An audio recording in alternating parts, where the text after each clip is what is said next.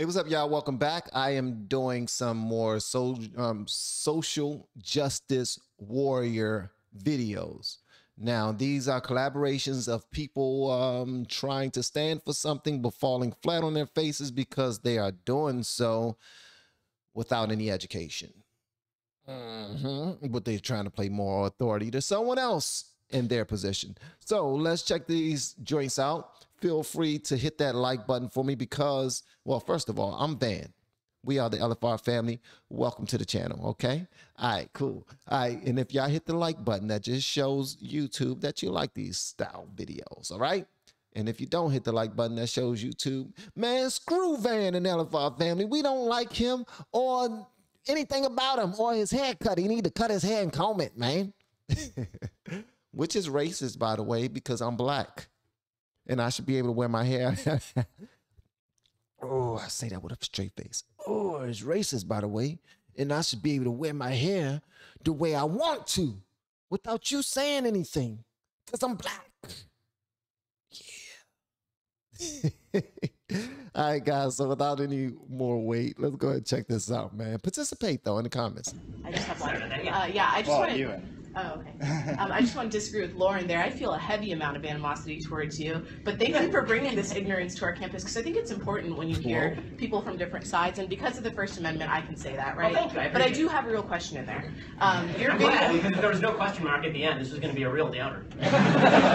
um, in your video where you debunk white privilege, you talk about how white privilege is a made-up term by privileged minorities. So I was wondering if you can elaborate on some of the privileges that you think minority groups have. Okay, so for, in privileges and loss, Oh my gracious, it was Ben Shapiro that she was calling ignorant. Oh man.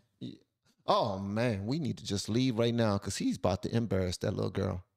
He is about to embarrass that little girl. Okay. Let me stretch. Get ready to hit this one. Uh, uh, had to do a quick workout. All right. Get her, Ben. so when I when I say privilege, I'm actually going to talk about legal standing. Okay, so affirmative action is a privilege. Affirmative action is a privilege. Subprime mortgages designed to appeal to minority loan to minority recipients without proper qualifications, that is a privilege. Right, those are a couple examples of, of privilege. Privilege would also be the, the police being told that they can't police in communities the same way they would in other communities because they don't understand the problems of minority communities. That's privilege. It's, uh, and by the way, these privileges are not helpful, but these are but as an overall matter. But they, it is certainly a. Pri- it- it's very difficult for me to see how it's not a privilege to get a lower score on the SAT than the Asian guy who's living in exactly the same circumstance. He gets penalized 50 points. You get 230 points on the SATs. That is definitionally a privilege. So there's one. Do you disagree? Yeah, but I don't want to take up Okay. everyone's time, so I'm just gonna let. She said, "Yeah, but I just I disagree. But uh, I'm just gonna leave right quick before I'm I'm, I'm gonna leave. Which way? Which way is back to my seat? Because um, I don't want to talk about this no more. I, I I feel offended. I'm offended that that you offended. you had nothing else to say because he done set your tail down by simply answering your question. You were so bold. You was like you've been making ignorant statements all night, and I just don't understand how. And she was so very articulate with her questioning and everything. And Ben set you down. Um, no, I ain't got nothing to say. I'm just gonna go ahead and sit down. I, I didn't protest it enough. I have done what I came up here to do to ask a question. That's it. I didn't know you was gonna ask any follow ups. I didn't come up here with any planned follow ups. I, I, I my notes ain't ready to answer that right there. Listen, guys, if you're gonna go question somebody like Ben Shapiro, please be ready.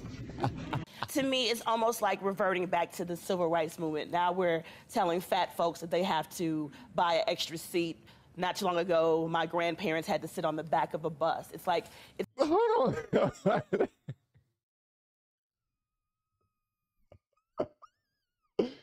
Is she really upset because somebody asked her to buy an extra seat? My question is, young lady, hmm, are you using an extra seat? Because if you're using an extra seat, maybe you should pay for it. I don't know. I don't know. Because that's how these companies make their money. They charge per seat. And if they can't charge for the extra seat that that, that extra cheek has taken, um, that means you will have to pay for it. Oh, that's discrimination. Why should I have to pay for an extra seat simply because I'm sitting in it? That's a damn good question. no, it's not. You're going to pay for it because you're sitting in the extra seat. It's almost like segregating folks based on the way they Where- look. I, I can't imagine. Did You're you a- really say that? Calm I- down. I- Don't act like you're you you're offended by KKK. You're, you I mean, you're so offended by me saying that your Why approach do you is keep so acting like tough. a victim, though? That's I- what I'd I- like to know. I- Why I- are you I- such may a I- victim? No, Okay. you first of all, You know, let me it- Well, I don't think we can. I'm sorry, but that's hilarious. That is absolutely hilarious. Oh, I, I can't. try- What you got to add? You got an issue with what I just now said, huh? You must be race card. Race card. that's what I'm gonna play. Race card. can let something about the KKK just sit there. I find that so incredibly offensive and, and offensive to the people who, at the hands of that despicable organization, have suffered. you are coming from a totally different place than Jillian Why is would you coming from. project something like that on Because stage? you're projecting it, on it. If it is what it is, I would respect you so much more. Say what it is. You have a problem with fat people. I would respect you so much more if you said, look, fatty, I can't stand you. I hate you. I Get the weight off. Now, I understand you're passionate about this. She's a fattist. She's a fattist.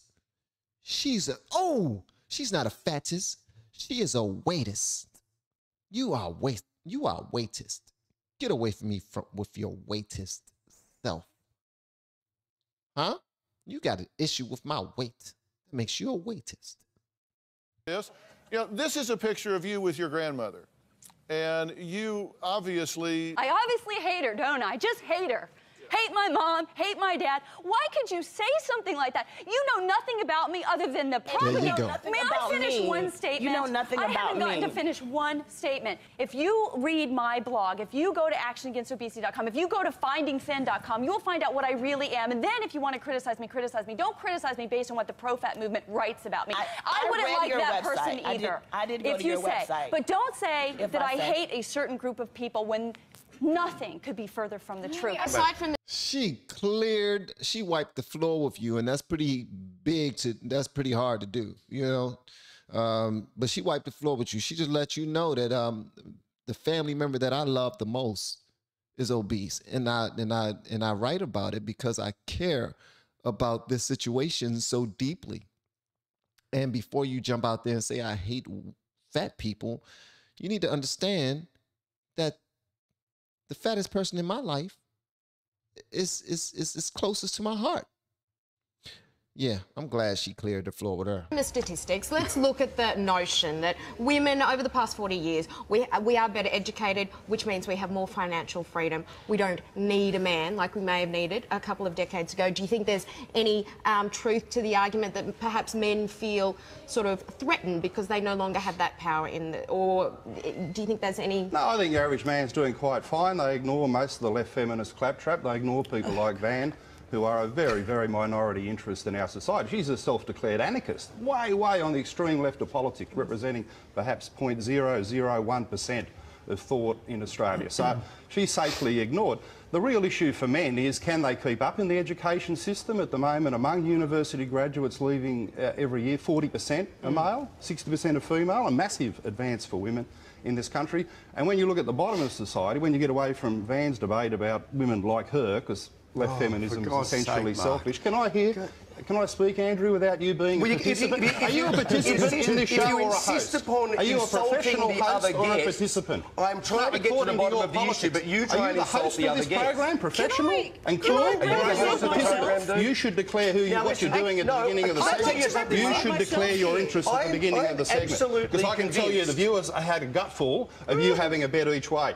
Pretending A bet you're a each host, way? but really being a left-wing I participant am in the trying to get to the bottom of the issue. I have no doubt No, you're that not. there are You're some defending Van because I made a, a valid point. No, Storm, didn't, please. Mark. I'm tr- You I have no doubt valid that there are some um, legitimate concerns that men have about certain issues. Now, you talk about you know, there being more graduates uh, than women than men. Great, okay, legitimate concern. Okay, we talk about the family law system, apparently these days Sure. being skewed away from men to- in favour of women. true. that- to, what, This is just not Van, true. please, uh, to create um, inequitable results.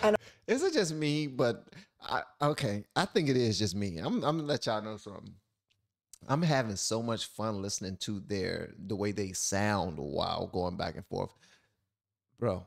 Trust me, I I am not the type of person that will hold anything against anybody for their race or where they're from or anything like that. I just think the way that they sound while arguing back and forth is absolutely hilarious.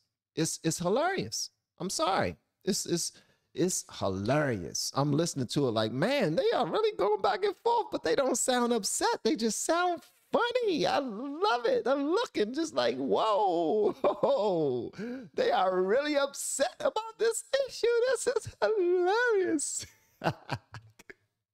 These are worth exploring. And also the but fact- do you need to run down feminism in order to No, explore running those issues? Van. you I'm don't. down Van. Okay, well, let, Yes. let, why don't we try Which and keep away from point, personal because attacks? These are so Can I defend myself, please, or is a man going to speak over me Oh, about you're trying me? to speak over us as Yes, ever. you are Come on, have speaking you go. over me, Mark. Here You're proving my point, Mark. You're not even letting me talk about myself. Now, I've known you for 20 years. No, you haven't. I met you. I met you when I was an oh. undergraduate at the University of Oh, Wollongong. you know for a fact I'm from a I've gotta working say. class family from the suburbs of Sydney, and I No, write about that. You're in my work the all the time. industry. You have to deal with the fact, Mark, that your position is the extremist one. I'm from the suburbs. I'm state school. I'm University of Wollongong, and I'm a feminist commentator. Was pointed out. Okay, the with fact, respect. the fact that women are discriminated against in this society. Let's talk about those trains and the need for safe Okay, carriages. Van, can you you just give us sexually a assaulted moment? on a train I when you mean were a this- teenager? Because I was. Excuse me, Van. I mean with re- this with respect to all of you, but I think personal attacks not very helpful at this stage. And- Called the train about 20 years ago. The practicality on the 11:30 Mark, train good on you with your personal Sydney. attacks. Good on you, mate. Good to yeah, see you sticking Well- to the topic. Well, I am sticking to the topic. It just shows how little you know about the practicalities of life in the suburbs because the idea that I don't on live in a 11 suburb. I live in a cloud. Mark. No, you live you live in, in, in, in, in cloud cuckoo land, absolutely. So look, Oh, yeah. the, the point is the point is that if you're on the 11:30 train out of the city and there's a women's only carriage and you're a bad bloke who wants to do damage, well, you go straight in. You're not going to respect the pink Oh, colour. yeah, that, that's a really insightful comment, Mark. Good on you. Thank you, thank you for giving us You're insight to how the train country driver, think, mate. Mark. Why are they writing him off simply because he's not saying what the um what was was popular on the show?